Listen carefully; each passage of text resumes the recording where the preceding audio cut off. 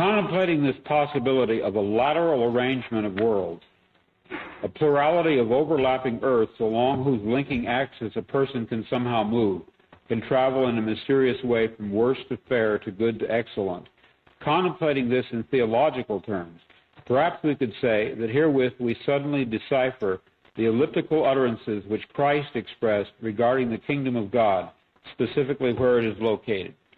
Okay, so you already said there may be different worlds coexisting at the same time, basically, and I guess that is what he tried to explain with the picture. They are a little bit different, some may be more different than others. You know, painting used to be replaced, which could be a complete different timeline, or then there was something that was altered, so there were just small differences. He seems to have given contradictory and puzzling answers. But suppose, just suppose for an instant, that the cause of the perplexity lay not in any desire on his part to baffle or to hide, but in the inadequacy of the question. My kingdom is not of this world, he is reported to have said. The kingdom is within you, or possibly it is among you. I put before you now the notion, which I personally find exciting, that he may have had in mind that which I speak of as the lateral axis of overlapping realms, which contain among them a spectrum of aspects ranging from the unspeakably malignant to the beautiful. So, okay, so he's saying that God may have created overlapping worlds, and that is basically an image I once had before because we say in manifesting that we all have our own quantum bubble, right? And the image I once channeled was imagine there would be like the tiniest like layer around the globe. And that is just yours okay? Um, however you meet other people. And that would be another tiny layer i mean so thin that would never be able to see it. And then you meet. However each of these people they have their own yeah let's call it well layer is a good word but I don't know how to how else to explain it. It's sometimes hard when you download images to really find the words for it. But every person basically has like their own I don't want to say net. Yeah, like a thin thin thin layer around this earth and we run into people even though we have the power to really play with our realm let's call it that but since we are not the only person on this world yeah we do meet others. We can say we meet others in, in timelines yes. And in every timeline you meet someone that person obviously manifested you being there as well. No one has power over you but you don't have any power over them in their own timeline, in their own quantum bubble is a term I've also heard. But again, I envision it as like a tiny, thin, thin, thin, thin layer, like a grid.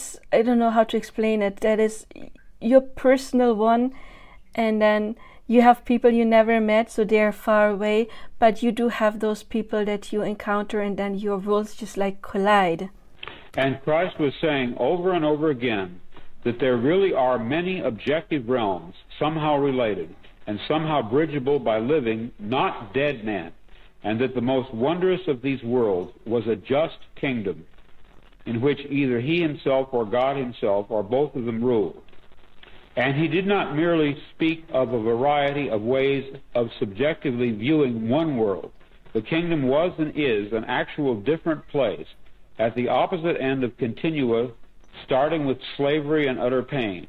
It was his mission to teach his disciples the secret of crossing along this orthogonal path. So, what he may mean with crossing along the orthogonal path may be what we call shifting timelines or ascension. You may have one timeline where you experienced a negative thing, let's say you're physically ill, for example, and then there is health in another one. And then there is the infinite possibilities, of course, all the steps to get there, you know, getting a little bit better, better, better, better. Some people may just jump from here to there, and then we have like miraculous healings. But for many people, it may be like crossing to get there from sick to healthy, or from really unhappy, depressed to living the life of your dreams. So, what ascension may be is to become aware and to look at what is not good right now.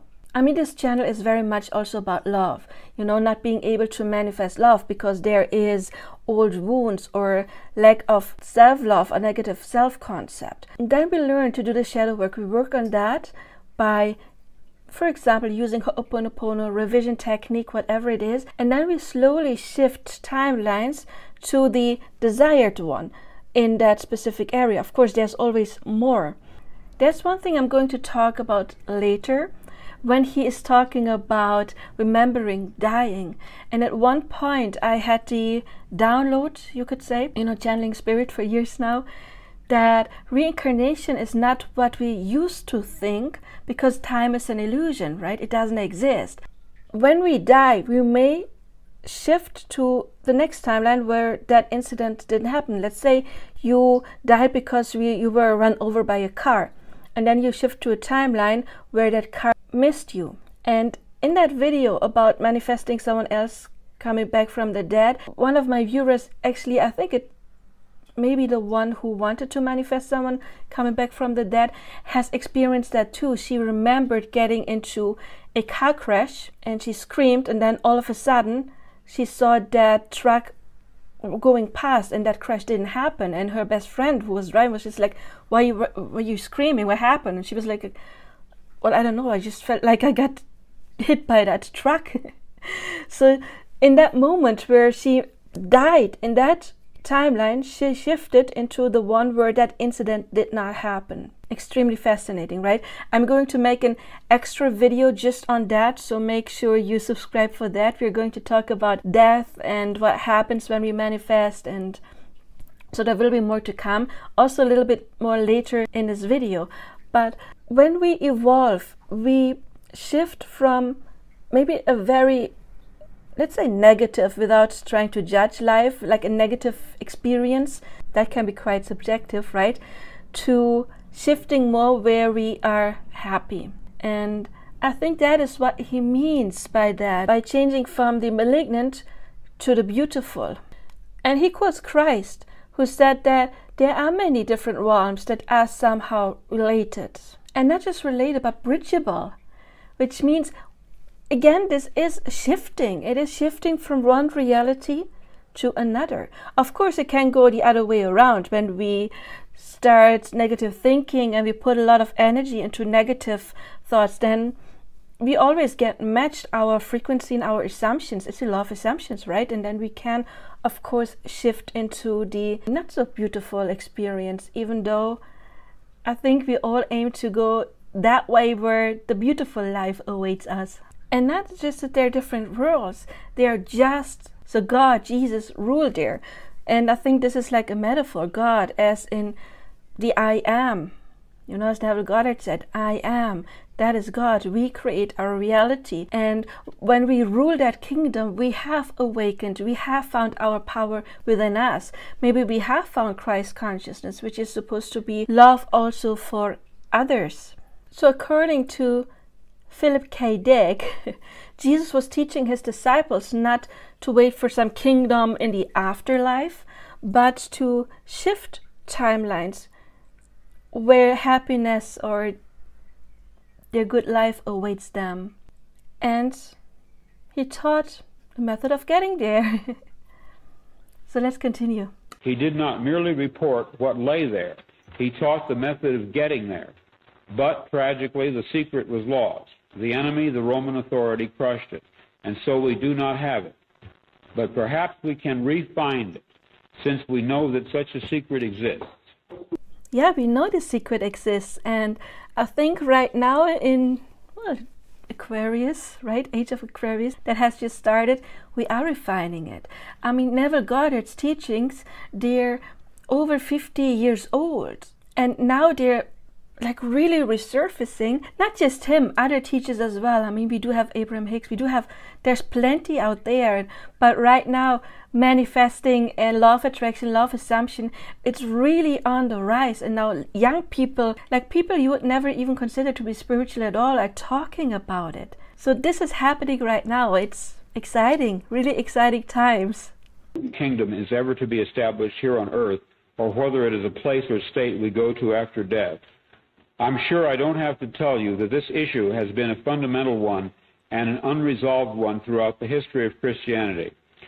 Christ and St. Paul both seem to say emphatically that an actual breaking through into time, that is specifically what they say, a breaking through into time, into our world, by the host of God, will unexpectedly occur. Thereupon, after some exciting drama, a thousand year paradise, a rightful kingdom will be established, at least for those who have done their homework and chores and generally paid attention, have not gone to sleep, as one parable puts it. So he said that people who are not asleep, who are waking, who are doing the chores, who are doing the work, they can reach the kingdom. And what work is it? Well, in my opinion, I'm a big fan of shadow work. Shadow work is nothing super spiritual. I know there's coaches out there who say, no, you don't have to do shadow work. But the thing is, we always manifest which is dominant in our subconscious mind. And if we have been, let's say, neglected over and over and over again, your subconscious mind will expect that to happen. So we have to put in the work to face that shadow, neglect in that case, and to do the work as I said, for example, by doing Ho'oponopono revision technique, there's many different techniques. It's always important to find one that suits you. Also, I learned hypnotherapy. What we do in the revision technique, it is something that we would do in hypnosis as well. But we sometimes have to face the past. Do we always have to do it to manifest? No, absolutely not, because it doesn't require shadow work, for example, to manifest a parking spot or a free coffee, unless, of course, you maybe had a traumatic experience where it was very important to be there somewhere on time and you didn't find a parking spot and then you have the belief i never find a parking spot then i would revise that but usually we don't have like a strong negative story to those kind of things but if we do have a negative strong story about something if our self concept is I never get this. This is never happening for me. I'm the one who always is dot dot dot dot and add any negative experience. Then we may have to use some actual energy to replace that assumption. And that is what I would call shadow work because that assumption, it is a kind of shadow. It is something probably in the subconscious that is manifesting an autopilot over and over and over again. So, yes, work is required for some things if you want to go over there if you don't have any negative assumptions or they're just tiny, then it may be enough to do your scripting or your affirmations in order to get there. For some things, it is enough to just, I don't do, do the 10K challenge with affirmations and replace the old program. It may happen for many things, but if there has been some kind of trauma or, or a really severe experience, then we actually may have to yeah roll up the sleeves and dig in to yeah dig out the roots before we plant pretty seeds. Is it necessary for everything? You want to manifest? Absolutely not. But if you wanted to manifest something for a while and it is not happening then i would find the assumption because the stronger assumption wins. And as i said to my clients all the time it's when you have an assumption like not deserving love because you have been neglected or you don't treat yourself accordingly, then you can waste your time to manifest that person showing you love. Maybe they will and show you love, but then they will retrieve again because it is not a match to your self concept. So then, yes, it may actually require some work to get there.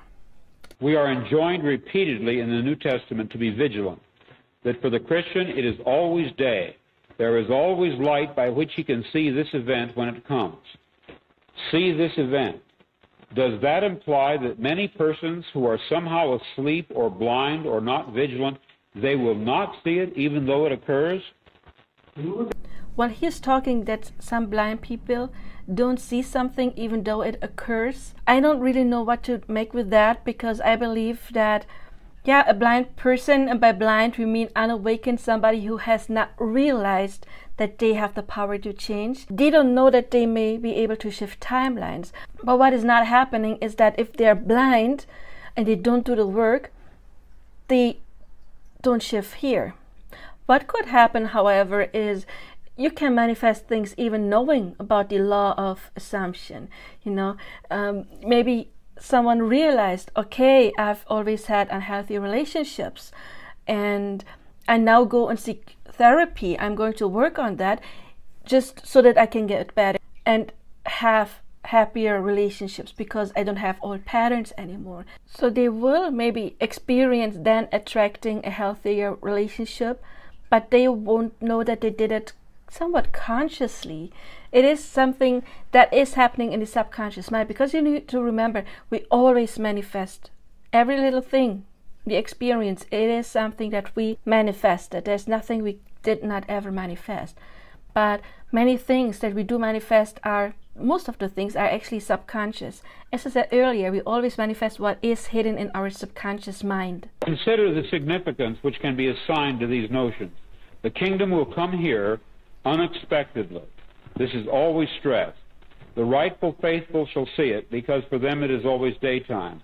But for the others, what seems expressed here is the paradoxical but enthralling thought that, and hear this and ponder, the kingdom were it established here would not be visible to those outside it. So the kingdom is not visible to outsiders. That could also mean, I mean, it's my interpretation. We must remember he is talking about his experience and he has thought about it a lot. He doesn't have that knowledge that we do have now at this point, right? So, what I'm doing is I'm taking what I have learned and kind of applying it to this or adding on or just taking his experience and kind of like put it into different boxes. but the way I see it is let's say there's something big happening in the collective, like a war, for example. Some people who realize that they can shift timelines, they can manifest getting into another timeline where that thing either never happened, right? Maybe they were never in the energy to experience that thing, so they have never been there, even though part of their soul always has been there. I do have a video about timelines that I'm going to link below where I'm explaining how our soul is making all of the different experiences we do, but our conscious mind always is making one And that is what we are talking about, you know, like this reincarnation. That once we finished one experience, and maybe we have started with the negative ones, then we get to shift into the next, let's say, like higher one until we reach our kingdom. But let's say we are in a reality where there is something like war happening, and if we know how to manifest, we can, of course, consciously manifest shifting into a timeline where that ended really quickly. But those who do not know how to do that and then maybe they focus on the bad news they have, or like we had COVID, for example, or pandemic, you know, those who do not know that their subconscious mind, their thoughts manifest, will not be able to get there if they really focus on the negative things, you know, if they don't stay on a mental diet and watch the news and then they get scared by everything that they experience. Those people will not shift there. They will stay in that timeline where that thing, whatever war, pandemic, is going to get bigger instead of solving itself, or it will take a lot longer until it does resolve itself. Not everybody gets to shift into that timeline. So you may have friends who are very negative and they will stay in this timeline. However, if you shift to a new timeline, you will be confronted with another version of them, the version of them who also shifted. So you would not make the experience of them not coming with you. Unless of course that would be your assumption. If your assumption would be like oh okay they're not going to change and i don't think i want to be friends with them anymore or i don't want them in my life anymore because we're not a match then you would shift into another timeline where that person may not be your friend in this example. So you see everybody would have the ability to shift but not everyone does because in order to consciously shift you don't even need to know about the law of assumption, right? But you maybe need to have faith in a higher power and feel in your gut that it will get resolved or you're just a very optimistic person because your assumptions manifest. But if your assumptions are, oh my God, this is a bad thing happening right now and it's getting worse and worse and worse, then that will be the experience. And that person might even go to another timeline where it is even worse than what they already have experienced. Awareness can really help, but awareness, it could just be also like a sense, like I am being an optimistic person, or I learn to stay on a mental diet, even if I don't know what a mental diet is and I don't call it like that. I'm just an optimistic person. That something within yourself determines if you reach that like kingdom or not. Okay, let's continue. I offer the idea that in more modern terms, what is meant that some of us will travel laterally to that better world and some will not. Well, okay, he just said it in his own words. so let's continue. They will remain stuck along the lateral axis, which means that for them the kingdom did not come, not in their alternative world. And yet, meantime, it did come in ours. So it comes, and yet it does not come. Amazing. Yes, absolutely amazing it happens simultaneously. You know, both outcomes happen. And as I just said, your assumptions decide which one you experience. But source, God, spirit, however you want to call it, higher power already created both. They simultaneously exist. Well, you could say the kingdom and hell at the same time. And probably some in the middle as well. I mean, infinite realities, right? I'm going to cut down to here. If you've followed my conjectures about the overlapping of these alternate worlds, and you sense as I do the possibility that if there are three or four or two, there may be 30 or 3,000 of them, and that some of us live in this one, others of us in another one, others in others, and that events on one track cannot be perceived by persons not in that track. Okay, as I said, I believe that our soul is experiencing a multitude of timelines. I believe there's more than 3,000. It's probably infinite. but of course, not in all of those timelines you exist because your parents didn't meet in all of those timelines, right? In some timeline, your mom stayed together with somebody else or met someone else, and your dad met someone else. Maybe they got together and it didn't work out, and you were never born. So, if there's infinite realities, of course, not everyone does exist in each of them, but we all exist in many, many, many, like probably also an infinite number of them. Well, let me say what I want to say and be done with it. I think I once experienced a track in which the Savior returned, but I experienced it just briefly. So, this is the first time he's talking about shifting timelines, and the Savior returns. That could mean many things. Did he return physically, or is it just Christ consciousness in some way?